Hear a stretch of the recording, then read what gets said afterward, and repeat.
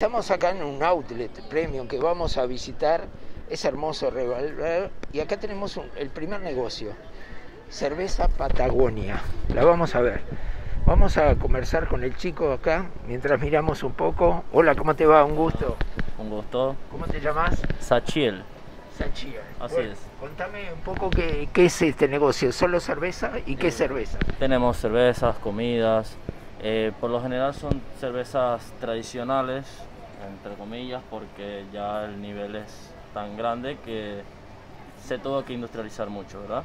Eh, por lo general vendemos la Amber Lager, la 24-7, que es una IPA. eh, son las dos cervezas que más salen. ¿Qué precios tienen?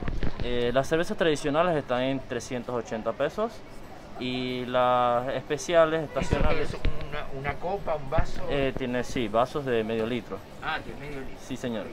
Eh, las tradicionales son la Amber Lager, la Bohemian, la 24/7 y las especiales son cervezas estacionales.